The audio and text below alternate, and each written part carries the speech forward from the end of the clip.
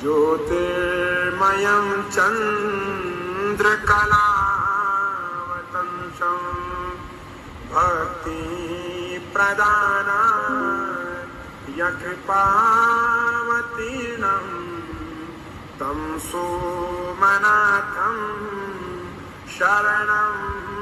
प्रपद्ये तं सोमनाथं शरणं प्रपद्ये श्रीशै